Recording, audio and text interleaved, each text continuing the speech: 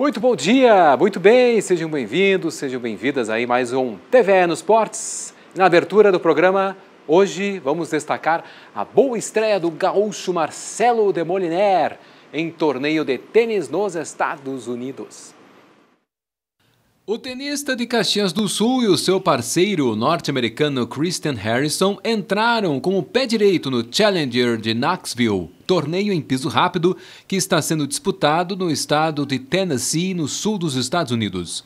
Foi uma vitória bem tranquila na primeira rodada diante da dupla formada pelo argentino Juan Pablo Vikovic e o norte-americano Tennyson Wyden. 6-3 e 6-1 foram os parciais após 51 minutos de jogo. Demoliner e Harrison ainda não sabem quem serão os adversários das quartas de final, mas é certo que será uma dupla 100% Yankee. Aqui no Hemisfério Sul, Orlando Luz caiu logo na rodada inicial da chave de simples do Open de Lima, no Peru. O jogador gaúcho, que tinha passado com sucesso pelo qualificatório, foi derrotado pelo argentino Federico Coria em sets diretos, parciais de 7-5 e 6-3, após uma hora e meia de disputa. Agora, Orlandinho vai em busca do título entre as duplas no saibro do torneio peruano. O carazinhense e o seu companheiro, o paulista Marcelo Zorman, são os principais cabeças de chave e na estreia, nesta quarta-feira, vão encarar o holandês Michel de Cron e o argentino Gonçalo Villanova. Vamos continuar falando de tênis, mais precisamente das areias, beach tênis. Por isso a gente está recebendo hoje aqui no TVA Esportes a Gabriela Cote, técnica, jogadora aí, categoria A, beach tênis, esporte que está em alta aqui no Rio Grande do Sul já faz um, um tempinho, né? E no último final de semana, Rio Grande do Sul conquistou a Copa das Federações. Bom dia, tudo bem? Tudo certo? Microfone, vou te pedir o microfone e tu vai se dirigindo com o microfone. Tá, tá legal, ali, unidirecional. Legal. Gabriela, bom, uh, técnica, né, obviamente, jogadora, categoria A. Queria que tu falasse um pouquinho dessa, dessa conquista das Copas das Federações e também o quanto que, na verdade, de alguma maneira, representa o quanto que a, a modalidade, o pitch tênis está muito mais do que alto, já é uma realidade, já muita gente praticando. Né? Uh, bom dia. Esse torneio ele tem crescido muito nos últimos anos, né? E agora, nos últimos dois anos, foi a primeira vez que os 26 estados e o Distrito Federal participaram. 20, então, total 27. Isso aí, 27 estados e, né? O, o Rio Grande do Sul se tornou campeão, né? E ele é o único estado que, desde a sua primeira edição em 2015, sempre fez parte do pódio. Tetra, né? né? Agora a gente é tetracampeão né, na frente dos estados de Paraná e São Paulo, que tem dois títulos. Legal. Só para o pessoal ter uma, uma, uma, ideia da grandeza, né? Quantos atletas participaram no total, uh, aproximadamente? Foram mais de 1.500 atletas. Mais de 1.500. Né? Tinha uma estrutura incrível, enorme, com 30 quadras, né? Então foram cinco dias intensos de, de torneio. E é um torneio diferente porque entra junto em quadra não só os atletas, né, mas por ser uma competição por equipe, entra junto a torcida, como um elemento muito forte, né? As famílias e os patrocinadores, todo mundo ali na beira da quadra disputando junto o, o jogo. Legal, maravilha. Bom, para o Rio Grande do Sul, né? Uh, e até mesmo assim, tu como técnica, né? Atleta, mas técnica, né? Porque tu, tu, tu, tu tem um trabalho forte junto às categorias de base, né? De fomentar justamente o esporte nos pequenos o quanto isso é importante para a fomentação e para atletas de formação aqui mesmo no estado e também para a grandeza e também o aumento de atletas nessa, no beach tênis.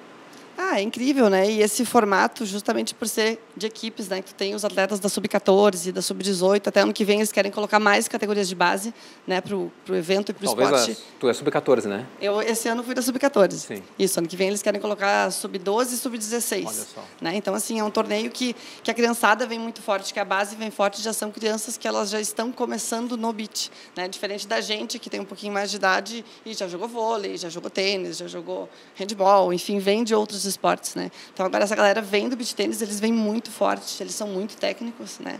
E esse torneio ele dá o privilégio de, às vezes o atleta profissional que é o teu ídolo, ele está ali juntinho de ti, Sim. na beira da quadra torcendo por ti.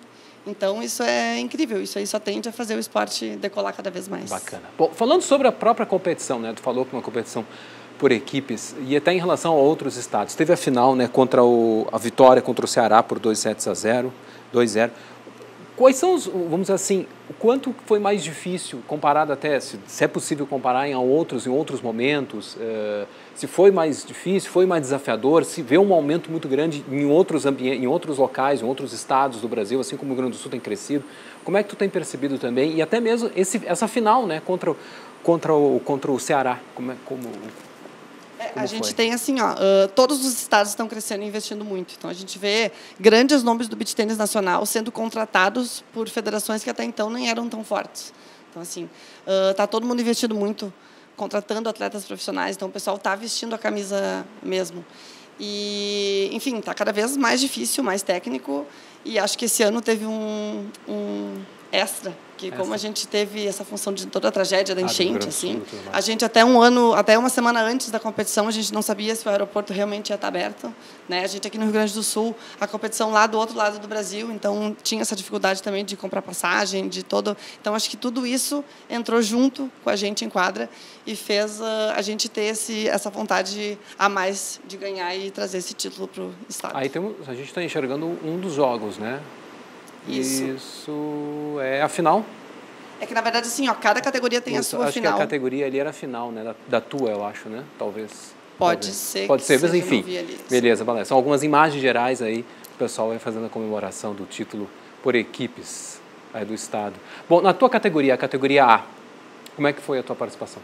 Eu, esse ano, fui como reserva. Uhum. Né? A gente tinha uma dupla titular, a Maria e a Vanessa, que durante toda a última temporada elas lideraram o ranking gaúcho, né? foram convocadas como dupla titular. E tínhamos Uh, a Fernanda e eu que entramos como atletas reservas, Reserva. né? Então a gente sempre tem na equipe, esse ano foi a primeira vez, na verdade, quatro atletas femininos e quatro masculinos em cada categoria.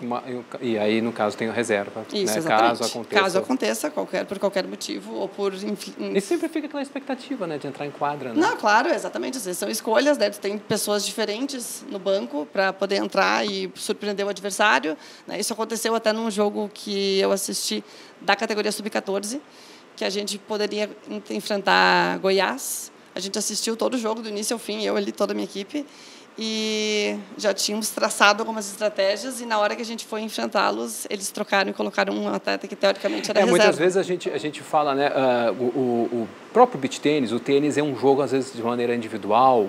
Tem a questão dupla né que aí tem também uma estratégia. Mas por equipes também acontece muito dessa estratégia né? Muito muito. Acontece bastante. E principalmente né? nesse, nesse, nesse formato de competição, que cada jogo importa, uh, não é só o técnico, né? como nos torneios normais, assim, o, o melhor técnico ou o, menor, o melhor físico vai ganhar. Né? Entra muito da questão mental, entra a torcida, então ele tem um, sabor diferente. Modifica um pouco também a questão uh, de análise, por exemplo, do saque, por exemplo determinado jogador é melhor para receber. Isso também acontece ou não, não, não necessariamente? Sim, muda bastante, né? Principalmente porque aqui no sul a gente tem muito beach tênis indoor, uhum. né? A gente tem paredes, a gente tem holofotes, a gente não tem vento e lá no Nordeste, lá no, no Ceará, o vento é muito forte. Então, assim, a gente tem que adaptar. É mais controlado, o saque que tu faz aqui é muito difícil tu conseguir fazer lá. Tem a função do tosse, tem a função, enfim. Então, muda muito a questão do jogo. Aqui é mais controlado, vamos dizer aqui assim. É, é um ambiente mais controlado. de jogar, isso aí, muito mais fácil de controlar. Mas aí está chegando a época do verão, o pessoal vai competir muito aí na área das areias do litoral norte, litoral sul do estado, aí com certeza também vai influenciar bastante, né? Maravilha. Bom, e segue fomentando, então, nas categorias sub-14, é isso? Sim. Como técnica, sim. Uh, a gente agora vai começar um planejamento para o ano que vem, né? Então, às vezes, algumas mudanças podem ocorrer, principalmente porque vai mudar um pouquinho o formato. Ano que vem eles querem fazer separado essa questão dos subs, não está bem definido ainda. Mas, enfim, agora a gente começa o planejamento para o ano que é um vem. Novo... Que agora a gente quer ir em busca do penta. Opa, show de bola. Gabriela Cortes, técnica atlética beach tênis aqui. Parabéns mais uma vez pelo título, Muito tá bom? E obrigado pelo trabalho que vocês têm feito aí, forte e incentivar essa modalidade que tem crescido cada vez mais. Tá Muito bom? obrigada pela oportunidade. Obrigado. Vamos falar de futsal? Quem gosta de futsal? Pois é, vamos ter uma quarta-feira de muita emoção com o início das semifinais das Copas, da Copa dos Pampas e da Copa RS. Atlântico, a CBF e a Soeva, consideradas as principais forças do futsal aqui no estado, estão entre os semifinalistas da Copa RS, que é organizada pela Federação Gaúcha da Modalidade. Na briga pelo título da competição também está a Ser Santiago. Hoje à noite, nos jogos de ida, a Açoeva recebe o Atlântico no Parque do Chimarrão, em Venâncio Aires. Na quarta-feira da semana que vem, o duelo muda de palco para o Caldeirão do Galo, em Erechim. A outra partida de ida será jogada entre Ser Santiago e ACBF, no ginásio Aureliano de Figueiredo Pinto. O segundo confronto está marcado para quinta-feira em Carlos Barbosa, na Serra Gaúcha. Além de levantar a taça, o campeão da Copa RS garante presença na Copa do Brasil de 2025. Agora a Copa dos Pampas, torneio promovido pela Liga Gaúcha de Futsal. Os duelos de ida também acontecem nesta quarta-feira. Em Espumoso, o Guarani recebe o Horizontina, clube que venceu as últimas duas edições da competição. E na região das Missões, a AF, de Entre Juiz, vai medir forças com a Uruguaianense. As mesmas equipes voltam a se enfrentar na próxima semana, mas com inversão nos mandos de quadra. Nadadores do União dominam a etapa gaúcha do Brasileiro de Águas Abertas. Cibele Youngblood e Matheus Meleque, nadadores do Grêmio Náutico União, foram os vencedores da sétima etapa do Campeonato Brasileiro de Águas Abertas. A prova, de 10 quilômetros, foi disputada na represa São Miguel, em Caxias do Sul. Também foi realizada a primeira etapa do Circuito Gaúcho. Meleque, atual líder do ranking mundial júnior da Copa do Mundo, chegou em primeiro com um tempo de 1 hora e 51 minutos. A segunda colocação ficou com Henrique Figueirinha, do Yacht Clube da Bahia. Outro unionista, Luiz Felipe Loureiro, completou o pódio em terceiro.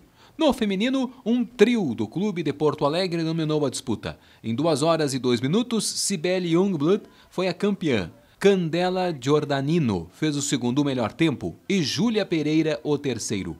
O Circuito Gaúcho de Águas Abertas tem a sua segunda etapa no dia 15 de dezembro na cidade de Barra do Ribeiro. Inter e Flamengo disputam hoje à tarde uma vaga na final do Brasileirão Feminino de Futebol Sub-20. Os ingressos para Inter e Flamengo são gratuitos com acesso liberado mediante a doação de um quilo de alimento não perecível. Na outra semifinal, o Corinthians saiu com uma vantagem de 1 a 0 sobre o Botafogo e joga por um empate para disputar o título. As equipes voltam a se enfrentar nesta quarta-feira no estádio Newton Santos, no Rio de Janeiro. Nós ficamos por aqui. O TV Esportes volta amanhã ao meio-dia e 15. Fique com o programa Estádio. Tchau! Thank you.